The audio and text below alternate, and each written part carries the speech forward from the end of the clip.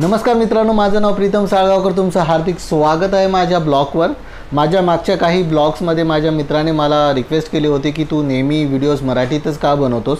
काही व्हिडिओज हिंदीमध्ये पण बनवत जा. हिंदीमध्ये बनवल्यानेच व्ह्युअरशिप पण चांगली मिळेल. तर आजचा व्हिडिओ माझ्या त्या मित्रांसाठी डेडिकेट आहे जे माझा व्हिडिओ ब्लॉग हिंदीमध्ये ऐक ऐकायचं आहे. तो फिर चलिए आज का वीडियो हम हिंदी में रिकॉर्ड करेंगे. तो आज हम सभी गणेश पंडाल विज़िट करेंगे मीरा रोड और दहीसर के और देखेंगे कि ये कोविड 19 और कोरोना वायरस के इशू चलते ही गणेश उत्सव कैसे मनाया जा रहा है। As compared to last year 25 से 30 गणेश पंडाल्स थे। तो देखते हैं आज मीरा रोड में कितने सारे गणेश पंडाल रखे हैं। तो फिर हम स्टार्ट करेंगे हमारे एरिया से पिंकरपाड़ा। ये एक गणेश मंदिर है, जो साइड में हम हर साल बप्पा की मूर्ति भी रखते हैं। ये एक हमारा सार्वजनिक गणेश मंडल है पेंकरपाड़ा। इस बार का अगर आप डेकोरेशन देखोगे तो एकदम सिंपल तरीके से बनाया गया है।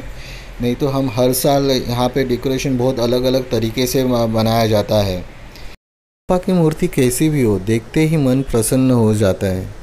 मैं डिफरेंट एंगल से वीडियो निकालने की कोशिश कर रहा हूँ। इस बार का जो डेकोरेशन सिंपल ही है लेकिन जितना सिंपल है उतना देखने के लिए भी बहुत अच्छा लग रहा है। और लाइटिंग्स भी बहुत अच्छी तरह से की गई है। हाँ, ये गणपति अनंत चतुर्थी तक रहता है। और फिर हम हमारे एरिया में जो तालाब है वहाँ पे हम इनका विसर्जन कर देते हैं।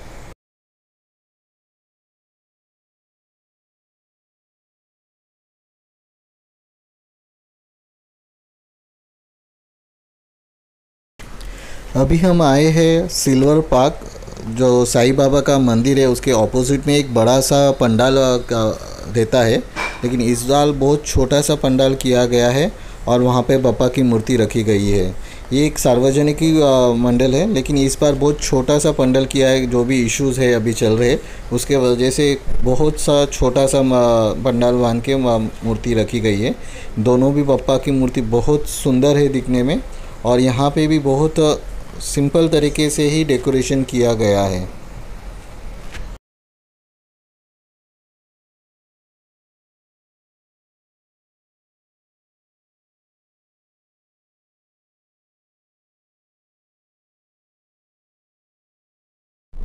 अभी हम पूरा मिरर घूम के आए हैं। लास्ट ईयर कंपेयर करोगे तो 25 से 30 गणेश पंडाल थे और इस बार शायद किसी ने रखे ही नहीं है। रखे रहेंगे तो डेढ़ दिन के रखे थे, क्योंकि पूरा मीरा रोड घूम के आए। हमें सिर्फ़ दो ही जगह मिले।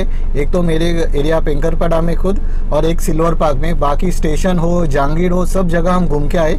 कहीं पे गणेश पंडाल तो मिले नहीं। मे भी डेढ़ दिन के रखे रहेंगे और सबने विसर्जन कर चुके। तो अभी हम फ़िलहाल दहीसर जा रहे हैं। होप्सो दहीसर में हमें एटलीस्ट दो तीन गणपति पंडाल देखने मिलेंगे। मेरे ख्याल से भाटला मंदिर और विठल मंदिर के जो है सार्वजनिक मंदिर एटलीस्ट वो हमें देखने मिलेंगे। तो चलो, वहाँ पे जाते हैं।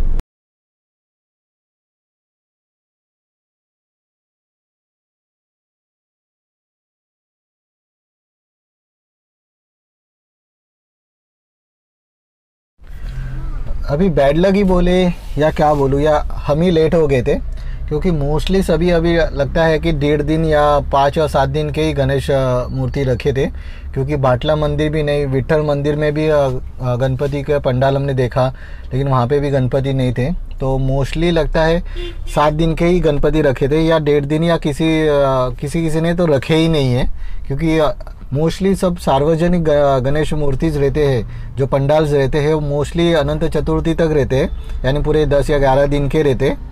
तो इस बार लगता है ये कोरोना के चलते सभी लोगों ने जल्दी से ही विसर्जन कर दिया है गणेश मूर्ति का।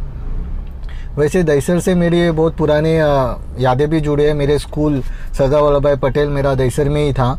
तो मोस्ट ऑफ़ द प्लेसेस जो दहीसर के थे नोन थे। तो इसलिए मैं सोचा थोड़ा लेट जाऊँगा तो ज़्यादा ग- यानी गणपति देखने मिलूँ, मिलेंगे। लेकिन ऐसे हुआ नहीं। चलो, कोई बात नहीं। नेक्स्ट ईयर हम इससे भी बहुत धूमधाम से गणेश चतुर्थी मनाएँगे। बाय